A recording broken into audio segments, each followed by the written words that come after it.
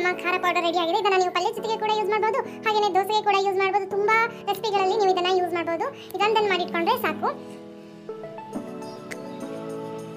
ನಾನು ಈ ರೀತಿ ಮಾಡಿಟ್ಕೊಂಡ್ಬಿಡ್ತೀನಿ. ತುಂಬಾ ಈಸಿ ಆಗುತ್ತೆ. ನಾವು ಮಸಾಲ ಮಜ್ಜಿಗೆ ಮಾಡಿ ಕೂಡ ಇದನ್ನ ಯೂಸ್ ಮಾಡಬಹುದು ಹಾಗೆ ಗ್ರೀನ್ ಚಟ್ನಿ ಈ ರೀತಿ ಸ್ಟೋರ್ ಮಾಡೋದ್ರಿಂದ ತುಂಬಾ ದಿನಗಳ ಕಾಲ ಬಾಳಿಕೆ ಬರುತ್ತೆ. ಅದಕ್ಕೋಸ್ಕರ ನಾನು ಈ ರೀತಿ ಪ್ರಿಪೇರ್ ಮಾಡಿಟ್ಕೊಳ್ತೀನಿ. ನೋಡಿ ಈ ರೀತಿ ಹಾಕೋದು ಮಿಕ್ಸ್ ಮಾಡೋದು ಅಷ್ಟೇ. ಒಂದೇ ಕ್ಷಣದಲ್ಲಿ ನಿಮ್ಮ ಮಸಾಲ ರೆಡಿ ಆಗಿಬಿಡುತ್ತೆ ಅದ್ರ ಜೊತೆಗೆ ಮತ್ತೆ ಮಿಕ್ಸ್ ಮಾಡಬೇಕಂತಿಲ್ಲ ಜಸ್ಟ್ ಮಜ್ಜಿಗೆ ಇದಕ್ಕೆ ಆ್ಯಡ್ ಮಾಡಿದ್ರೆ ಆಯ್ತು ಅಷ್ಟೇ.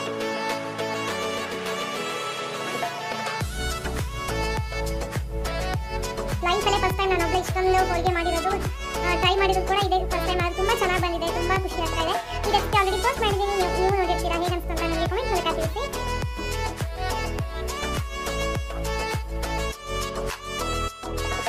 ಲಾಸ್ಟ್ ವಿಡಿಯೋದಲ್ಲಿ ಮೆಣಸನ್ನು ಒಣಸಿದ್ನಲ್ವ? ಅದನ್ನು ಇವಾಗ ಪೌಡ್ರ್ ಮಾಡ್ತಾ ಇದ್ದೀನಿ. ಅದನ್ನು ಮಾಡೋದಕ್ಕೋಸ್ಕರ ಇಲ್ಲಿ ಅರ್ಧ ಟೇಬಲ್ ಸ್ಪೂನಷ್ಟು ಲವಂಗ ತೊಗೊಂಡಿದ್ದೀನಿ. ಹಾಗೆ ಎರಡು ಚಕ್ರ ಮೊಗ್ಗೆ ಅಥವಾ ಅನಾನಸು ಅಂತ ಏನಿರ್ತಾರೆ ಅದನ್ನು ತೊಗೊಂಡಿದ್ದೀನಿ. ಹಾಗೆ ಒಂದು ಅರ್ಧ ಟೀ ಸ್ಪೂನಷ್ಟು ಇಲ್ಲಿ ಮೆಂತ್ಯ ಕಾಳನ್ನು ತೆಗೆದುಕೊಂಡಿದ್ದೀನಿ ಎಲ್ಲವನ್ನು ಕೂಡ ಚೆನ್ನಾಗಿ fry ಮಾಡ್ಕೊಳ್ಬೇಕಾಗತ್ತೆ. Hello friends welcome back to my channel Manya's Kannada vlog ಚಾನಲ್ಗೆ ನಿಮ್ಮೆಲ್ಲರಿಗೂ ಸ್ವಾಗತ, ಸುಸ್ವಾಗತ. ಇವೆಲ್ಲವನ್ನು ಚೆನ್ನಾಗಿ ನಾವು ಫ್ರೈ ಮಾಡ್ಕೊಳ್ಬೇಕಾಗತ್ತೆ. ಲೋ ಫ್ಲೇಮ್ನಲ್ಲೇ ಇಟ್ಕೊಂಡ್ಬಿಟ್ಟು ಎಲ್ಲವನ್ನು ಕೂಡ ಚೆನ್ನಾಗಿ ಫ್ರೈ ಮಾಡ್ಕೋಬೇಕು. ಇದಕ್ಕೆ ಒಂದು ಆರು ಟೇಬಲ್ ಸ್ಪೂನ್ನಷ್ಟು ನಾನು ಕೊತ್ತಂಬರಿ ಬೀಜ ಅಥವಾ ಇನ್ನು ಧನಿಯಾ ಅಂತೀವಿ ಅದನ್ನು ಹಾಕ್ಕೊಳ್ತಾ ಇದ್ದೀನಿ. ಹಾಗೆ ಎರಡು ಟೇಬಲ್ ಸ್ಪೂನಷ್ಟು ನಾನು ಇಲ್ಲಿ ಜೀರಿಗೆಯನ್ನು ಹಾಕ್ಕೊಳ್ತಾ ಇದ್ದೀನಿ. ಇದನ್ನು ಕೂಡ ಲೋ ಫ್ಲೇಮಲ್ಲಿ ಚೆನ್ನಾಗಿ ಹುರ್ಕೊಳ್ಬೇಕಾಗತ್ತೆ. ನೀವು ಎಷ್ಟು ಚೆನ್ನಾಗಿ ಹುರ್ಕೊಳ್ತಿರೋ ಅಷ್ಟು ಚೆನ್ನಾಗಿ ಈ ಪೌಡರ್ ಬರುತ್ತೆ. ಒಂದು ಎರಡು ನಿಮಿಷ ಇದೇ ರೀತಿಯಾಗಿ ನಾನು ಹುರ್ಕೊಂಡಿದ್ದೀನಿ. ನೋಡ್ತಾ ಇರ್ಬೋದು ಕಲರ್ ಕೂಡ ಚೇಂಜ್ ಆಗ್ತಾ ಇದೆ. ಇವಾಗ ಇದನ್ನು ಒಂದು ಪ್ಲೇಟ್ಗೆ ಹಾಕಿ ತಣ್ಣಗಾಗೋದಕ್ಕೆ ಬಿಡ್ತೀನಿ. ಇವಾಗ ಅದೇ ಪಾತ್ರೆಗೆ ನಾನಿಲ್ಲಿ ಮೂರು ಬೊಗಸೆಯಷ್ಟು ಬ್ಯಾಡ್ಗೆ ಮೆಣಸನ್ನು ತೊಗೋಬೇಕಿತ್ತು ಬಟ್ ನನ್ನ ಹತ್ರ ಇರಲಿಲ್ಲ. ಅದಕ್ಕೋಸ್ಕರ ಗುಂಟೂರು ಮೆಣಸನ್ನು ತೊಗೊಂಡಿದ್ದೀನಿ. ಇದು, ಇದಾಗಿರೋದಕ್ಕೆ ನಾನು ಮೂರು ಬಾಕ್ಸ್ ಹಾಕ್ಕೊಳ್ತಾ ಇದ್ದೀನಿ. ಇಲ್ಲ ಅಂತಂದರೆ ಮಾಮೂಲಿ ಬ್ಯಾಡ್ಗೆ ಮೆಣಸಾದರೆ ಖಾರ ಕಮ್ಮಿ ಇರೋದಾದರೆ ನೀವು ಆರು ಬಾಕ್ಸೆಯಷ್ಟು ಹಾಕಿದ್ರು ಕೂಡ ಹಿಡಿಯತ್ತೆ ಇದಕ್ಕೆ. ಇದು ತುಂಬ ಖಾರ ಇರೋದ್ರಿಂದ ನಾನು ಇಷ್ಟು ತೊಗೊಳ್ತಾ ಇದ್ದೀನಿ. ಆಲ್ರೆಡಿ ಬಿಸಿಲಲ್ಲಿ ಒಣಗಿದೆ, ಆದರೂ ಕೂಡ ಸ್ವಲ್ಪ ಇದನ್ನು ಎಣ್ಣೆ ಹಾಕಿಬಿಟ್ಟು ಘಾಟ್ ಬರಬಾರ್ದು ಅನ್ನೋದಕ್ಕೋಸ್ಕರ ಸ್ವಲ್ಪ ರೋಸ್ಟ್ ಮಾಡ್ಕೊಳ್ತೀನಿ. ಸ್ವಲ್ಪ ಎಣ್ಣೆ ಹಾಕಿದ್ರೆ ಸಾಕು. ಒಂದು ಟೀ ಸ್ಪೂನ್ ಅಷ್ಟು ಎಣ್ಣೆ ಹಾಕಿದ್ರೆ ಸಾಕು.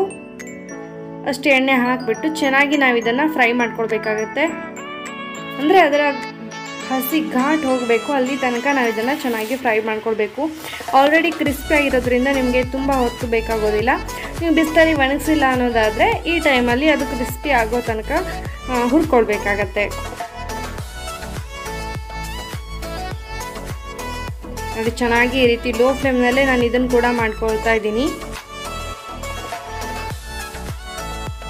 ಇವಾಗ ಒಂದು ನಿಮಿಷ ಆಗಿದೆ ಸ್ನೇಹಿತರೆ, ನೋಡ್ತಾ ಇರ್ಬೋದು. ಕೆಳಗಡೆ ಬೀಜ ಎಲ್ಲ ಕೂಡ ಚೆನ್ನಾಗಿ ರೋಸ್ಟ್ ಆಗಿದೆ. ನೋಡಿ, ಎಲ್ಲವೂ ಕೂಡ ಚೆನ್ನಾಗಿ ರೋಸ್ಟ್ ಆಗಿದೆ. ಇದನ್ನು ಕೂಡ ಇವಾಗ ತಣ್ಣಗಾಗೋದಕ್ಕೆ ಬಿಡ್ತೀನಿ.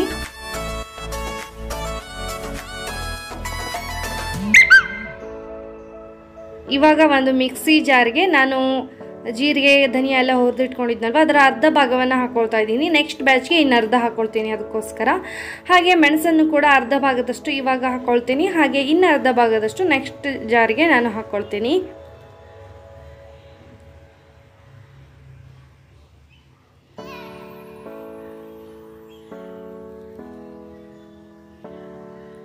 ಇವಾಗ ಇದಕ್ಕೆ ನಾವು ಹುಳಿ ಅಂಶ ಬರೋದಕ್ಕೋಸ್ಕರ ನಾನು ಮೂರು ಟೇಬಲ್ ಸ್ಪೂನಷ್ಟು ಹುಳಿ ಸೊಪ್ಪನ್ನು, ಪುಡಿಯನ್ನು ಹಾಕ್ಕೊಳ್ತಾ ಇದ್ದೀನಿ. ನೀವು ಹುಣಸೆಹಣ್ಣು ಬೇಕಿದ್ರೂ ಹಾಕ್ಕೊಬೋದು. ನಾನು ಅದರ ಅರ್ಧ ಭಾಗವನ್ನು ಇಲ್ಲಿ ಹಾಕ್ಕೊಳ್ತಾ ಇದ್ದೀನಿ. ಒಂದೂವರೆ ಸ್ಪೂನಷ್ಟು ಈ ಜಾರ್ಗೆ ಒಂದೂವರೆ ಸ್ಪೂನಷ್ಟು ನೆಕ್ಸ್ಟ್ ಜಾರಿಗೆ ಹಾಕ್ಕೊಳ್ತೀನಿ ಅರಿಶಿನ ಪೌಡ್ರನ್ನು ಕೂಡ ಅಷ್ಟೇ, ಟೋಟಲ್ ಎರಡು ಟೇಬಲ್ ಸ್ಪೂನ್ ಬೇಕಾಗುತ್ತೆ. ಒಂದು ಟೇಬಲ್ ಸ್ಪೂನ್ ಇವಾಗ ಹಾಕಿದ್ದೀನಿ. ಹಿಂಗನ್ನು ಕೂಡ ಒಂದು ಅರ್ಧ ಸ್ಪೂನಷ್ಟು ಹಾಕಬೇಕಾಗುತ್ತೆ. ಅದರಲ್ಲಿ, ಅರ್ಧದಲ್ಲಿ ಅರ್ಧವನ್ನು ಇವಾಗ ಹಾಕ್ಕೊಂಡಿದ್ದೀನಿ. ಹಾಗೆ ರುಚಿಗೆ ತಕ್ಕಷ್ಟು ಉಪ್ಪು. ನಾನು ಟೋಟಲಿ ಐದು ಟೇಬಲ್ ಸ್ಪೂನ್ ಉಪ್ಪನ್ನು ಯೂಸ್ ಮಾಡಿದ್ದೀನಿ. ಇವಾಗ ಎರಡೂವರೆ ಹಾಕ್ಕೊಳ್ತಾ ಇದ್ದೀನಿ. ನೆಕ್ಸ್ಟ್ ಬ್ಯಾಚ್ಗೆ ಎರಡೂವರೆ ಅಷ್ಟು ಹಾಕ್ಕೊಳ್ತಾ ಇದ್ದೀನಿ. ನೋಡ್ತಾ ಇರ್ಬೋದು, ಚೆನ್ನಾಗಿ ಇವಾಗ ಇದಾಗಿದೆ. ಇದನ್ನು ತೆಗೆದಿಟ್ಕೊಳ್ತೀನಿ. ನೆಕ್ಸ್ಟ್ ಮತ್ತೊಂದು ಬ್ಯಾಚನ್ನ ಇವಾಗ ಮಾಡ್ಕೊಳ್ತೀನಿ. ಸೇಮ್ ಅದೇ ಪ್ರೊಸೀಜರು ಏನು ಮಿಕ್ಕಿತ್ತಲ್ವ ಅದೆಲ್ಲ ಹಾಕ್ಬಿಟ್ಟು ಇವಾಗ ಮತ್ತೆ ಚೆನ್ನಾಗಿ ರುಬ್ಕೊಳ್ತೀನಿ. ಬ್ಯಾಡ್ಗೆ ಮೆಣಸು ಹಾಕಿದ್ರೆ ಕಲರ್ ಕೂಡ ತುಂಬ ಚೆನ್ನಾಗಿ ಬರುತ್ತೆ. ಖಾರ ಕೂಡ ಚೆನ್ನಾಗಿರುತ್ತೆ. ನಾವು ಸ್ವಲ್ಪ ಖಾರ ಕಮ್ಮಿ ತಿನ್ನೋದ್ರಿಂದ ನಮಗೆ ಅದೇ ಸೂಟ್ ಆಗುತ್ತೆ. ಬಟ್ ಇವತ್ತು ನನಗೆ ಅದು ಇರಲಿಲ್ಲ ಅರ್ಜೆಂಟಾಗಿ ನನಗೆ ಈ ಪೌಡ್ರ್ ಬೇಕಿತ್ತು. ಖಾಲಿ ಆಗಿಬಿಟ್ಟಿತ್ತು. ಅದಕ್ಕೋಸ್ಕರ ಈ ಮೆಣಸಲ್ಲಿ ಮಾಡ್ತಾ ಇದ್ದೀನಿ. ನೀವು ತುಂಬ ಮೆಣಸು ತಿಂತೀರ ಅನ್ನೋದು ಇದನ್ನೇ ಯೂಸ್ ಮಾಡ್ಬೋದು. ಇವಾಗ ಮತ್ತೆ ಒಂದು ಟೇಬಲ್ ಸ್ಪೂನಷ್ಟು ಅರಿಶಿಣವನ್ನು ಹಾಕ್ಕೊಳ್ತಾ ಇದ್ದೀನಿ. ಟೋಟಲಿ ನಾನು ಫುಲ್ ಪೌಡರ್ಗೆ ಎರಡು ಟೇಬಲ್ ಸ್ಪೂನಷ್ಟು ಅರಿಶಿಣ ಯೂಸ್ ಮಾಡಿದ್ದೀನಿ. ಹಾಗೆ ಮೂರು ಟೇಬಲ್ ಸ್ಪೂನಷ್ಟು ಈ ಹುಳಿ ಸೊಪ್ಪಿನ ಪೌಡ್ರನ್ನ ಯೂಸ್ ಮಾಡಿದ್ದೀನಿ ಟೋಟಲಿ ಹಾಗೆ ಅರ್ಧ ಸ್ಪೂನಷ್ಟು ಇಂಗನ್ನ ಯೂಸ್ ಮಾಡಿದ್ದೀನಿ. ಇದು ಇಂಗಿನ ಪೌಡರ್ ಅದಕ್ಕೆ ಸ್ವಲ್ಪ ಜಾಸ್ತಿ ಹಾಕ್ಕೊಳ್ತಾ ಇದ್ದೀನಿ ನಾನು. ಅರ್ಧ ಸ್ಪೂನಷ್ಟು ಹಾಕ್ಕೊಳ್ತಾ ಇದ್ದೀನಿ. ಹಾಗೆ ಮಿಕ್ಕಿರುವಂಥ ಉಪ್ಪನ್ನು ಕೂಡ ಹಾಕಿ ಚೆನ್ನಾಗಿ ನಾವು ಇದನ್ನು ಪೌಡ್ರ್ ಮಾಡ್ಕೊಳ್ಳೋಣ. ಇವಾಗ ಇದನ್ನು ಕೂಡ ಚೆನ್ನಾಗಿ ರುಬ್ಬಿದ್ರೆ ನಮ್ಮ ಮಲ್ಟಿ ಪರ್ಪಸ್ಗೆ ಯೂಸ್ ಆಗುವಂತಹ ಪೌಡರ್ ರೆಡಿ ಆಗುತ್ತೆ. ಇದನ್ನು ದೋಸೆ ಜೊತೆ ಕೂಡ ನೀವು ನೆಂಚ್ಕೊಳ್ಳೋದಕ್ಕೆ ಯೂಸ್ ಮಾಡ್ಬೋದು. ಪಲ್ಯಕ್ಕೆ ಕೂಡ ಯೂಸ್ ಮಾಡ್ಬೋದು. ಕರೆಂಟ್ ಇಲ್ಲ ಅಂತಂದರೆ ಸಾಂಬಾರಿಗೆ ಕೂಡ ಬೇಕಿದ್ರೆ ನೀವು ಇದನ್ನು ಯೂಸ್ ಮಾಡ್ಬೋದು. ನೀವು ಕೂಡ ಒಮ್ಮೆ ಟ್ರೈ ಮಾಡಿ ನೋಡಿ. ಇದೊಂದನ್ನು ಮಾಡಿಟ್ಕೊಂಡ್ರೆ ನಿಮಗೆ ತುಂಬ ಯೂಸ್ ಆಗುತ್ತೆ. ಹಾಗೆ ಫ್ಲೇವರ್ ಕೂಡ ತುಂಬ ಚೆನ್ನಾಗಿರುತ್ತೆ. ಟ್ರೈ ಮಾಡಿಬಿಟ್ಟು ಹೇಗಾಗಿತ್ತು ಅಂತ ನನಗೆ ಕಮೆಂಟ್ ಮೂಲಕ ಖಂಡಿತವಾಗ್ಲೂ ತಿಳಿಸಿ. ನೀವು ಖಾರ ಕಮ್ಮಿ ತಿನ್ನೋದಾದರೆ ದಯವಿಟ್ಟು ಬ್ಯಾಡ್ಗೆ ಮೆಣಸನ್ನೇ ಹಾಕಿ ಇದನ್ನು ಹಾಕಕ್ಕೆ ಹೋಗಬೇಡಿ. ನಮಗೆ ಕೂಡ ಇದು ಸ್ವಲ್ಪ ಖಾರನೇ ಅಂತ ಅನ್ನಿಸ್ತು ಅದಕ್ಕೋಸ್ಕರ ಹೇಳ್ತಾ ಇದ್ದೀನಿ. ಓಕೆ ಇವಾಗ ಇದನ್ನು ಒಂದು ಏಜ್ ಐಟ್ ಡಬ್ಬದಲ್ಲಿ ಹಾಕಿ ಸ್ಟೋರ್ ಮಾಡಿ ಇಟ್ಕೊಳ್ತೀನಿ. ಇವಾಗ ಇನ್ನೊಂದನ್ನು ಪ್ರಿಪೇರ್ ಮಾಡಿ ಇಟ್ಕೊಳ್ಳೋಣ ಅಂತ ಅಂದ್ಕೊಳ್ತಾ ಇದ್ದೀನಿ. ಗ್ರೀನ್ ಚಟ್ನಿ ಮಾಡೋದಕ್ಕೆ ನಾನಿಲ್ಲಿ ಒಂದು ಒಂದು ಕಟ್ನಷ್ಟು ಪುದೀನ ತೊಗೊಂಡಿದ್ದೀನಿ. ಹಾಗೆ ಒಂದು ಕಟ್ನಷ್ಟು ಕೊತ್ತಂಬರಿ ಸೊಪ್ಪನ್ನು ತೊಗೊಂಡಿದ್ದೀನಿ. ಹಾಗೆ ಹುಳಿಗೆ ನಿಂಬೆಹಣ್ಣನ್ನು ತೊಗೊಂಡಿದ್ದೀನಿ. ಒಂದು ಇಂಚಷ್ಟು ಶುಂಠಿ ಹಾಗೆ ಒಂದೇ ಒಂದು ಮೆಣಸಿನ್ಕಾಯಿ ತೊಗೊಳ್ತಾ ಇದ್ದೀನಿ. ಇದು ತುಂಬ ಖಾರ ಇದೆ. ಅದಕ್ಕೋಸ್ಕರ ಒಂದೇ ಒಂದು ಗ್ರೀನ್ ಚಿಲ್ಲಿಯನ್ನು ತೊಗೊಳ್ತಾ ಇದ್ದೀನಿ. ಖಾರ ಇಲ್ಲ ಅಂತಂದರೆ ನೀವು ನಿಮ್ಗೆ ಎಷ್ಟು ಖಾರ ಬೇಕೋ ಅಷ್ಟು ತೊಗೊಳ್ಬೋದು. ಈ ಗ್ರೀನ್ ಚಟ್ನಿಯನ್ನು ತುಂಬ ವೆರೈಟಿನಲ್ಲಿ ಮಾಡ್ತಾರೆ. ಬಟ್ ನಾನು ಮಾಡೋದು ಈ ಥರ ಅದಕ್ಕೋಸ್ಕರ ನಿಮ್ಮ ಜೊತೆ ಕೂಡ ಶೇರ್ ಮಾಡ್ತಾ ಇದ್ದೀನಿ. ನಾನು ಯಾವ ರೀತಿ ಮಾಡೋದು ಅಂತ.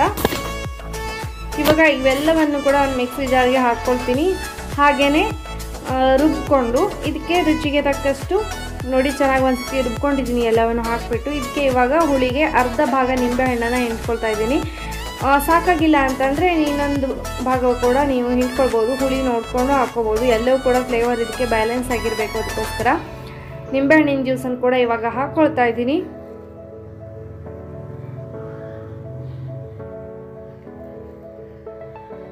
ಹಾಗೆಯೇ ರುಚಿಗೆ ಎಷ್ಟು ಬೇಕೋ ಅಷ್ಟು ಉಪ್ಪು, ಉಪ್ಪನ್ನು ಕೂಡ ಹಾಕಿ ಚೆನ್ನಾಗಿ ಇನ್ನೊಮ್ಮೆ ಇದನ್ನು ರುಬ್ಕೊಂಡಿದ್ದೀನಿ. ನೋಡಿ, ಚೆನ್ನಾಗಿ ಪೇಸ್ಟ್ ಆಗಿದೆ ಇದು. ಇವಾಗ ನೀವು ಇದನ್ನು ಹಾಗೆ ಬೇಕಿದ್ದರೂ ಒಂದು ಜಾರಲ್ಲಿ ಹಾಕಿ ಫ್ರಿಜ್ಜಲ್ಲಿ ಸ್ಟೋರ್ ಮಾಡಿ ಇಡ್ಬೋದು. ಬಟ್ ನಾನು ಇದನ್ನು ಐಸ್ ಟ್ರೇನಲ್ಲಿ ಹಾಕಿಬಿಟ್ಟು ಈ ರೀತಿ ಐಸ್ ಟ್ರೇ ಬರುತ್ತಲ್ವ, ಇದರಲ್ಲಿ ಹಾಕಿಬಿಟ್ಟು ಇದನ್ನು ಫ್ರೀಸ್ ಮಾಡಿಬಿಟ್ಟು ಆಮೇಲೆ ತೆಗೆದು ಒಂದು ಏಟ್ ಏಟ್ ಬಾಕ್ಸಲ್ಲಿ ಹಾಕಿ ಫ್ರೀಸರಲ್ಲಿ ಸ್ಟೋರ್ ಮಾಡ್ತೀನಿ.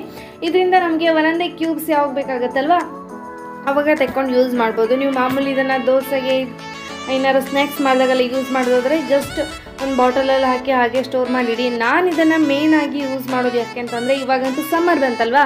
ಅದಕ್ಕೋಸ್ಕರ ಮಸಾಲ ಮಜ್ಜಿಗೆ ಅಥವಾ ಮಜ್ಜಿಗೆ ಎಲ್ಲ ಕುಡಿತಾ ಇರ್ತೀವಿ ನಾವು. ಅದಕ್ಕೋಸ್ಕರ ಮಸಾಲ ಮಜ್ಜಿಗೆ ಮಾಡೋದಕ್ಕೆ ಪ್ರತಿ ಸತಿ ಬೇರೆ ಎಲ್ಲ ರುಬ್ಬೋದಕ್ಕಿಂತ ಈ ರೀತಿ ಒಂದೊಂದು ಕ್ಯೂ ಇದನ್ನು ಮಾಡಿಟ್ಕೊಂಡ್ಬಿಟ್ರೆ ಗ್ರೀನ್ ಚಟ್ನಿಯನ್ನು ಒಂದು ಸತಿ ಮಜ್ಜಿಗೆಗೆ ಒಂದು ಕ್ಯೂಬು ಅಥವಾ ಎರಡು ಕ್ಯೂಬು ಸ್ವಲ್ಪ ನಿಮಗೆ ಸ್ಟ್ರಾಂಗ್ ಬೇಕು ಅನ್ನೋದಾದರೆ ಹಾಕಿ ಜಸ್ಟ್ ಮಿಕ್ಸ್ ಮಾಡಿದ್ರೆ ಆಯಿತು. ತುಂಬ ಈಸಿಯಾಗಿ ತುಂಬ ಬೇಗನೆ ನೀವು ಮಾಡ್ಕೋಬೋದು ಅದಕ್ಕೋಸ್ಕರ ನಾನು ಇದನ್ನು ಮೇಯ್ನಾಗಿ ಮಾಡ್ತಾ ಇರೋದೇ ಅದಕ್ಕೋಸ್ಕರ. ನಿಮಗೆ ಮಾಮೂಲಿ ಚಾಟ್ಸ್ಗೆಲ್ಲ ಬೇಕು ಅನ್ನೋದಾದರೆ ಜಸ್ಟ್ ರುಬ್ಬಿಬಿಟ್ಟು ಒಂದು ಬಾಟಲೆಲ್ಲ ಹಾಕಿ ಫ್ರಿ ಫ್ರಿಜ್ಜಲ್ಲಿ ಸ್ಟೋರ್ ಮಾಡಿ ಇಡ್ಬೋದು ಈ ರೀತಿ ಮಾಡೋ ಅವಶ್ಯಕತೆ ಇರೋದಿಲ್ಲ.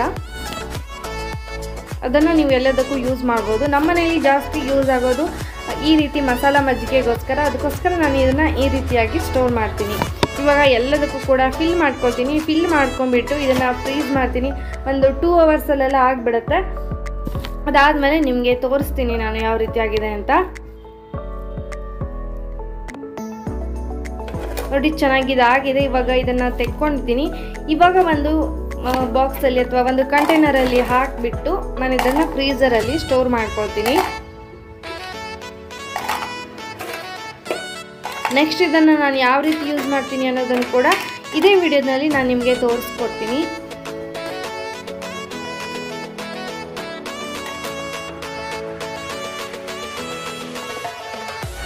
ಒಂದ್ಸತಿ ಈ ರೀತಿ ಮಾಡ್ಕೊಂಡು ಇಟ್ಕೊಂಡ್ರೆ ನಿಮ್ಗೆ ತುಂಬ ದಿನ ಬರುತ್ತೆ, ನೀವು ಎಷ್ಟು ಇದನ್ನು ಯೂಸ್ ಮಾಡ್ತೀರಿ ಅನ್ನೋದ್ರ ಮೇಲೆ ಡಿಪೆಂಡ್ ಆಗಿರುತ್ತೆ. ನನಗಂತೂ ಒಂದು ವಾರ, ಎರಡು ವಾರ ಎಲ್ಲ ಬರುತ್ತೆ. ಅದಕ್ಕೋಸ್ಕರ ನಾನು ಈ ರೀತಿ ಮಾಡಿ ಪ್ರಿಪೇರ್ ಮಾಡಿ ಇಟ್ಕೊಂಡಿರ್ತೀನಿ. ಇವಾಗ ಈ ರೀತಿ ಮುಚ್ಚಲು ಹಾಕಿಬಿಟ್ಟು ಇದನ್ನು ಸ್ಟೋರ್ ಮಾಡಿ ಇಟ್ಕೊಳ್ಳೋಣ. ಇವಾಗ ನಾನು ಮಸಾಲ ಮಜ್ಜಿಗೆ ಮಾಡ್ತಾ ಇದ್ದೀನಿ. ಅದಕ್ಕೋಸ್ಕರ ಇದರ ಒಂದು ಕ್ಯೂ ಬೇಕಿದ್ರೆ ನೀವು ತೊಗೋಬೋದು, ಎರಡು ಕ್ಯೂಬ್ ಬೇಕಿದ್ರೆ ತೊಗೊಬೋದು. ನನಗೆ ಸ್ವಲ್ಪ ಸ್ಟ್ರಾಂಗ್ ಇದ್ದರೆ ಚೆನ್ನಾಗಿ ಅನಿಸುತ್ತೆ. ಅದಕ್ಕೋಸ್ಕರ ಎರಡು ಕ್ಯೂಬನ್ನು ತೊಗೊಂಡಿದ್ದೀನಿ. ಜೊತೆಗೆ ಒಂದೇ ಒಂದು ಪೀಸ್ ಐಸ್ ಕೂಡ ಹಾಕ್ಕೊಳ್ತಾ ಇದ್ದೀನಿ.